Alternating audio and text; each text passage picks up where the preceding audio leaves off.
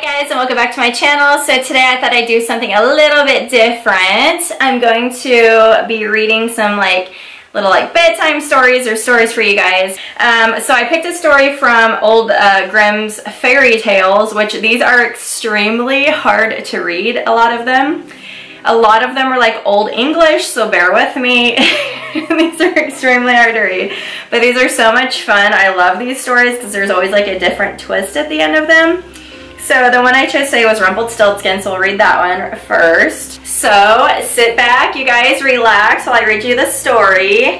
Um, and I hope you guys enjoy it. So let's start. Okay, Rumpelstiltskin. There once was a miller who was poor, but who had a beautiful daughter. Now it happened that he had to go and speak to the king, and in order to make himself appear important to him, he said, I have a daughter who can spin straw into gold.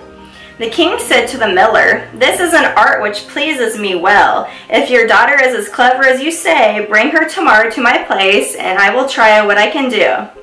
And when the girl was brought to him, he took her into a room which was quite full of straw, gave her a spinning wheel and a reel, and said, Now, set to work. And if by tomorrow morning early you have not spun the straw into gold during the night, you must die. Thereupon himself locked up in the room and left her in it alone.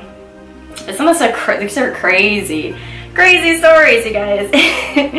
so there sat the poor miller's daughter, and for the life of her could not tell what to do.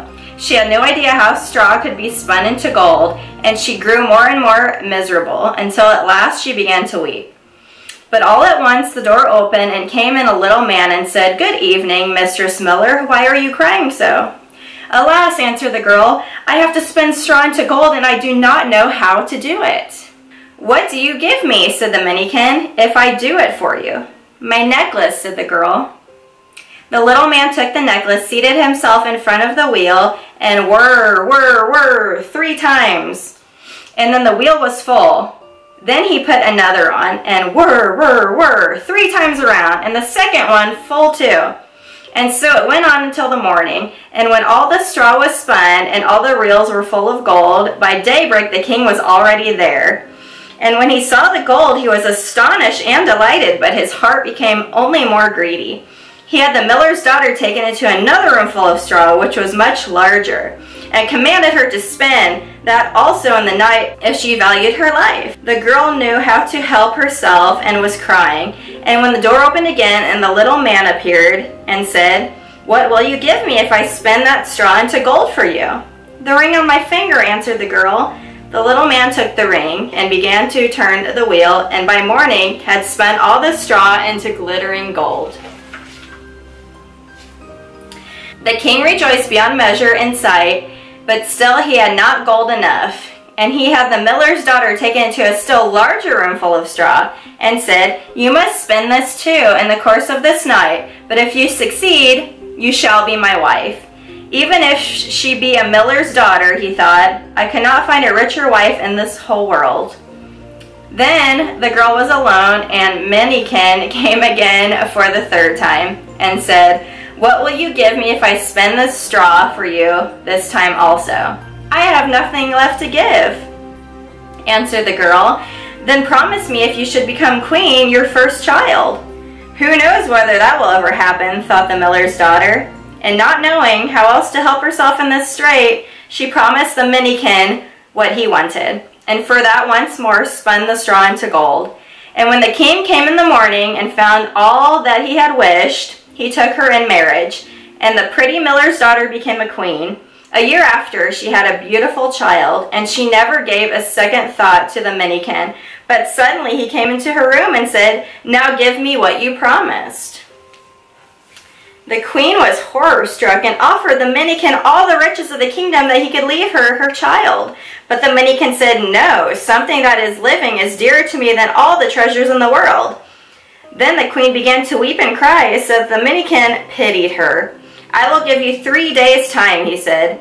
If by that time you find out my name, then you shall keep your child. So the queen thought the whole night of all the names that she had ever heard, and she sent a messenger over to the country to inquire, far and wide for any other names that there might be. Then the Minikin came the next day. She began with Casper, Melchior, Bal Balitzar, and said all the names that she knew, one after another. But to every one the little man said, That is not my name. On the second day, she had inquiries made in the neighborhood as to the names of the people there. She had repeated to the Minikin the most uncommon and curious. Perhaps your name is Short Ribs, or Sheepshanks, or Lace Leg. But always answered, That is not my name. On the third day, the messenger came back and said, I have not been able to find a single new name. But as I came to a high mountain at the end of the forest, where the fox and the hare bid each other good night, there I saw a little house, and before the house a fire was burning. And round about the fire a quite ridiculous little man was jumping. He hopped onto the one leg and shouted, Today I bake, tomorrow brew, the next day I'll have the young queen's child. Ha, I'm glad that no one knew that rumpled Rumpelstiltskin I am styled.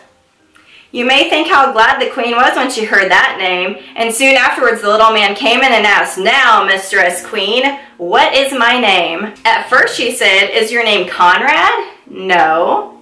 Is your name Harry? No. Perhaps your name is Rumpelstiltskin. The devil has told you that, cried the little man. And his anger, he plunged his right foot so deep into the earth that his whole leg went in. And then in rage, he pulled at his left leg so hard with both hands that he tore himself in two. Oh my gosh! These stories are so crazy. Yeah, these like Grimm fairy tale stories, like there's always a twist in them that's like kind of creepy at the end, so. Anyway, I hope you guys enjoyed that story. Um, if you guys like the stories, make sure you give me a thumbs up. If you guys want to hear more, comment down below. If you guys want to hear any other stories, I will read them for you. This is super fun. Um, something a little bit different. So make sure you like and subscribe. And I hope you guys have an awesome day. And I will see you guys next time.